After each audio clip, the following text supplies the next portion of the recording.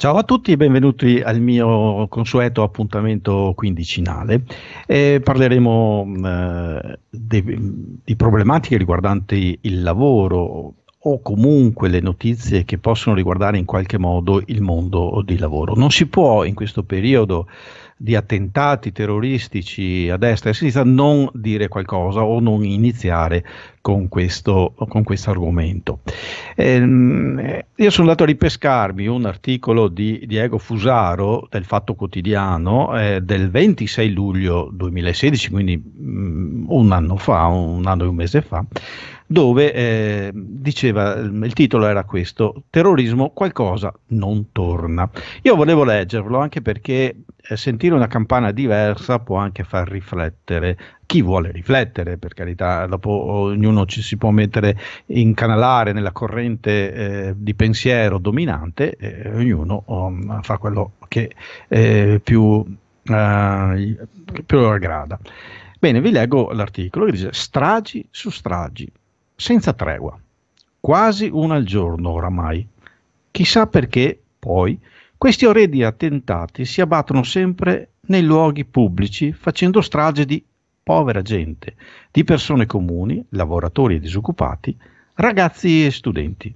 Mai una volta avete notato che l'ira delirante dei terroristi si abbatta nei luoghi di potere e della finanza. Mai mai un signore della finanza colpito, mai una statista, mai un pezzo grosso dell'Occidente.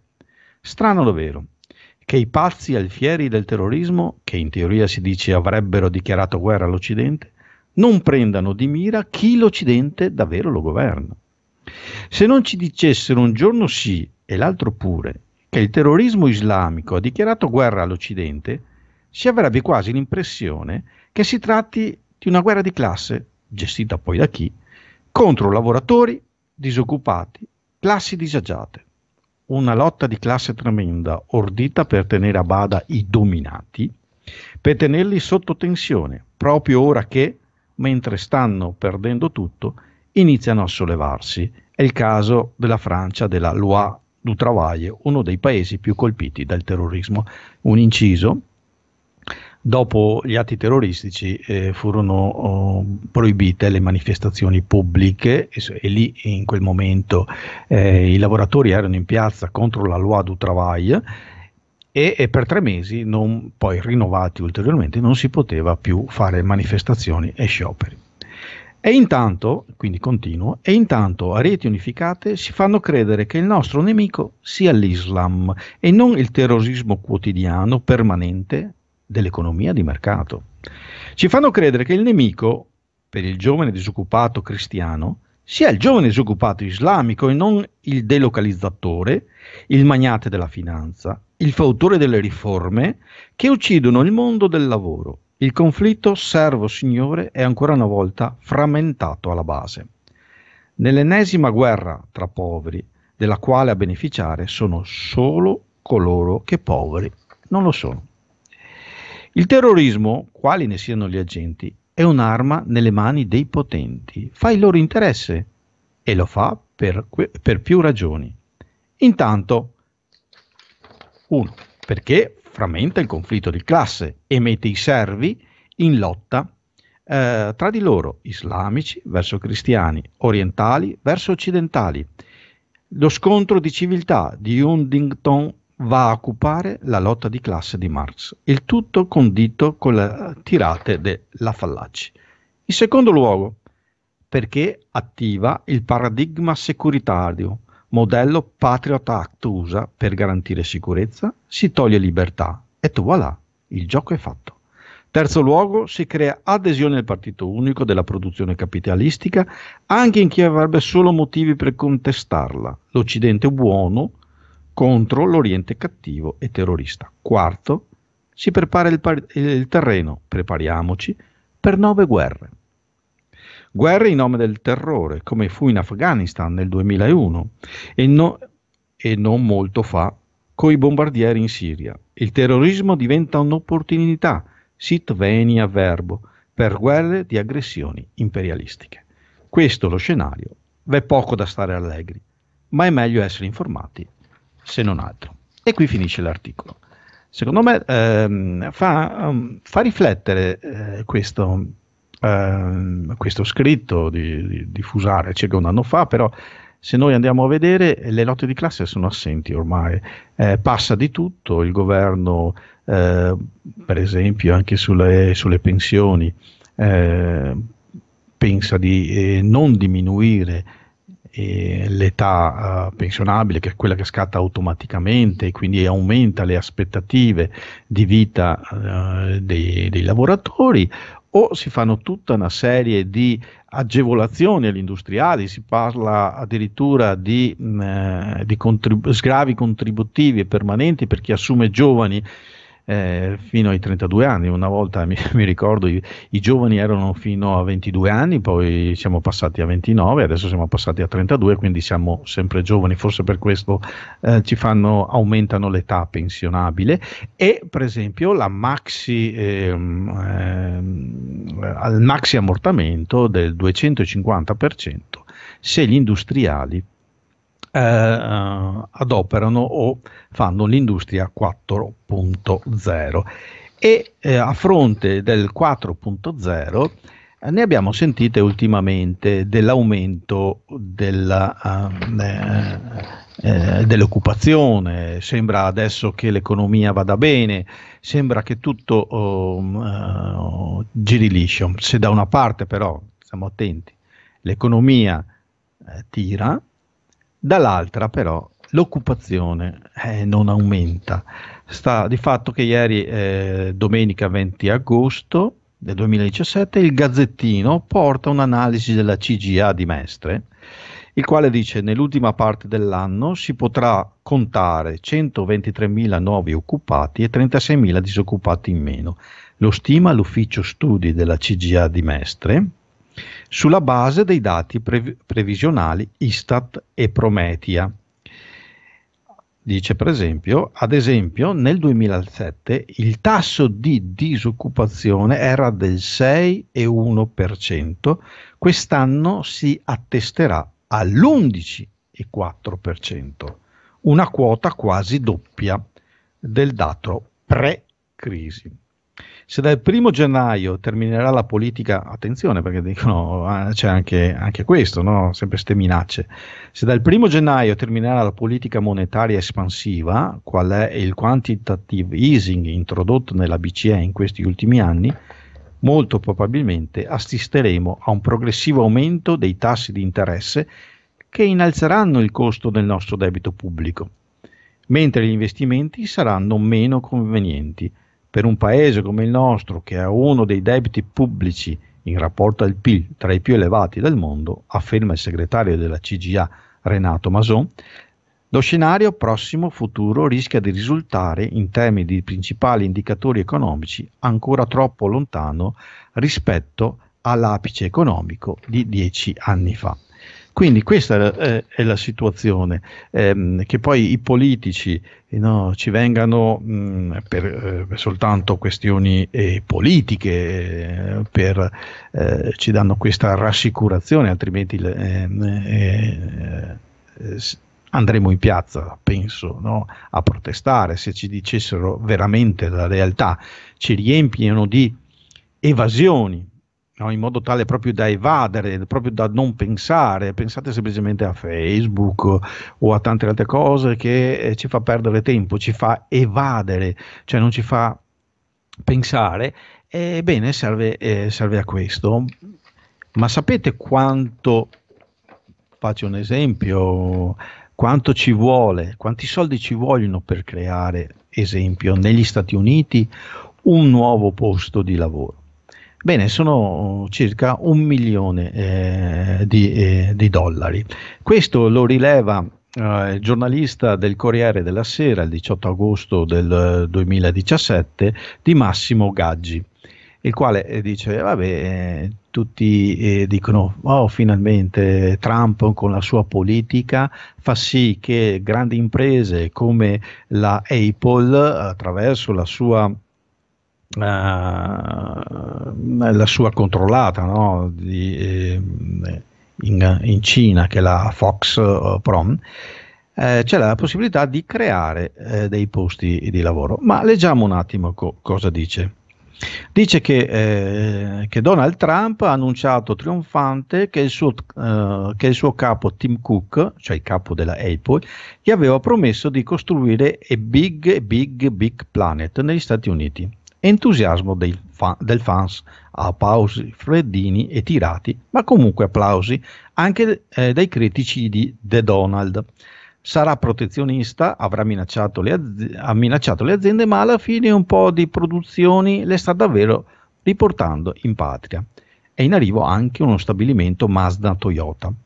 A rispe- eh, al rispettoso mm, Barack Obama non era riuscito.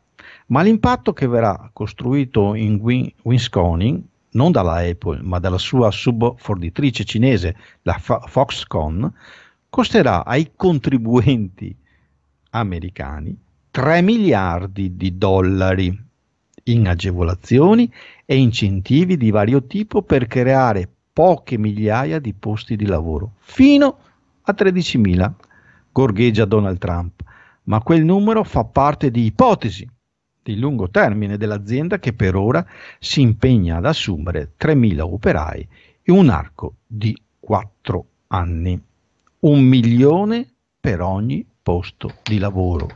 Questo costerà al eh, contribuente. Così, ehm, se ci fossero dei giornalisti che anziché spulciare soltanto quanto succede all'estero, ehm, spulciassero anche eh, cosa succede da noi, avremmo tra agevolazioni, tra incentivi, eccetera, quanti soldi le, eh, vengono eh, dati alle aziende eh, italiane per creare posti di lavoro che poi abbiamo visto in realtà eh, la disoccupazione a che livelli è il doppio del 2007. Eh, Ultimo argomento. L'ultimo argomento è il grande caldo. Il grande caldo ha creato disastri da una parte, ma uh, dall'altra uh, ha creato mh, anche occasioni di... Eh, volevo leggervi un'altra cosa a proposito dell'aumento del PIL perché è interessante. Ecco qua. Ecco, eh, sempre, torno un attimo indietro, no? parliamo del PIL, dice, e questo è il la Nuova Venezia di venerdì 11 agosto e il giornalista è eh, Roberta Carlini e intelligentemente secondo me dice il grande caldo infatti parlando del PIL, dell'aumento del PIL visto che eh, oggi eh, il PIL farà aumentare l'occupazione, abbiamo visto che non lo fa aumentare perché eh, c'è l'industria 4.0 quindi la, il mega ammortamento 250% se, ehm, eh, se compri nuovi macchinari comunque il grande caldo infatti ha dato una forte spinta ai dati positivi di giugno, si parla del PIL, e questo a causa dell'impatto sul consumo di energia per condizionatori e, refriger-. E refrigerare. L'energia guida l'aumento mensile della produzione industriale, più 5,7% da maggio a giugno, mentre è un 1,1 l'indice medio e anche quello tendenziale da un anno all'altro più il 10,8%. Tra qualche settimana se ne eh, potranno vedere anche gli effetti economici negativi in termini di produzione agricola e sue esportazioni. Ma per ora il contributo dell'eccezionale ondata di caldo ai numeri dell'economia è stato paradossalmente positivo. In qualche modo conferma il celebre discorso del 68 di Bob Kennedy sul PIL che diceva misura anche le ambulanze che servono per soccorrere i feriti sulle strade e le opere necessarie dopo le inondazioni. Quindi anche gli eventi che di fatto non aumentano il nostro benessere. Quindi entrano nel PIL anche questo e quindi anche il caldo eh, aumenta, eh, aumenta il PIL. I disastri fanno aumentare il PIL. E a proposito di, eh, di caldo, Ehm, un'associazione di apicoltori ehm, eh, dice che eh, le api sono, c'è stato un disastro con questo caldo, effettivamente. No?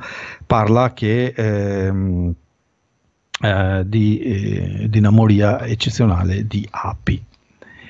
Ebbene, sentendo parlare di api, a me è venuto in mente quello che scriveva Marx eh, su l'ape e eh, l'architetto.